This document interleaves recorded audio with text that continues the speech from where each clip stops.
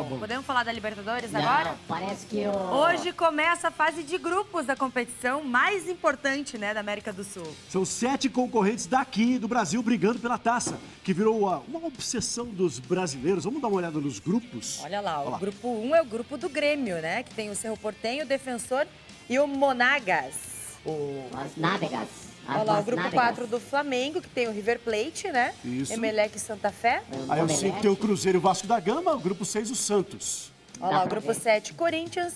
E o grupo 8 do Palmeiras. Palmeiras. Exatamente. Tem Letor- Boca Juniors junto no grupo do Palmeiras. É, e o- vamos falar dos brasileiros que vão estrear hoje, então, né? Exatamente. O Cruzeiro é, o- e o atual campeão, inclusive, né?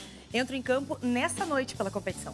Ele vai quebrar o tornozelo, o Cruzeiro, o time inteiro. O Grêmio de Porto Alegre é o atual campeão. O Everton diz que por isso é o time a ser batido. Acho que todo o time agora vai, vai olhar o Grêmio de uma forma diferente. Por esse título que a- gente vem, por ser o atual campeão. Eu creio que, como o Cortez falou ontem, vai ser a equipe a ser batida, né? O primeiro compromisso do Grêmio é no Uruguai contra o Defensor. O jogo é hoje. Independente da equipe que, que for jogar, até mesmo por ele estar jogando em casa, eles fazem esse, esse fator casa valer a pena. Tem muitos campeões né, da, da- da Libertadores disputando, é, equipes de, com muita tradição. É verdade, Marcelo Grui.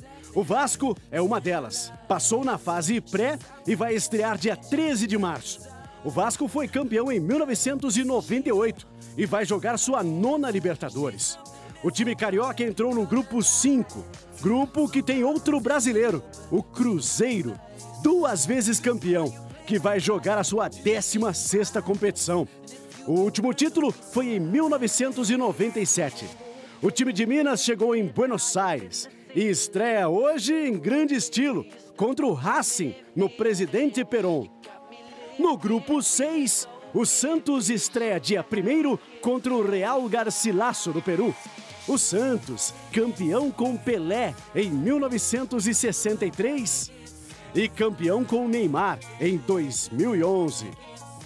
Outro paulista, o Palmeiras, campeão de 1999. O Palmeiras de Evair.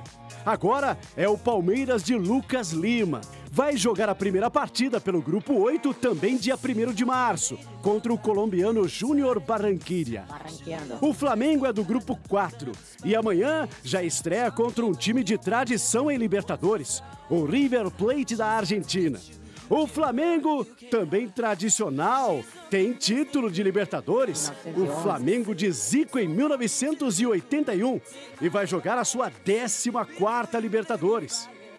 O Corinthians está no grupo 7. Vai fazer a estreia amanhã contra o Milionários. Jogo fora de casa, no El Campín, na Colômbia. O goleiro Cássio falou que nesse fim de semana, jogar o clássico contra o Palmeiras teve um gostinho de Libertadores. Um clássico como foi de, de sábado, foi um jogo bem disputado.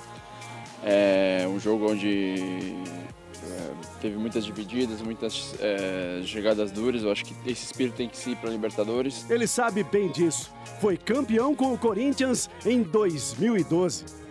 Libertadores, fase de grupos, fase de viajar pela América, jogar contra a tradição de um Boca Juniors de Teves, contra velhos conhecidos como Lucas Prato, que joga no River Plate. Está no ar a velha rivalidade entre brasileiros e hermanos.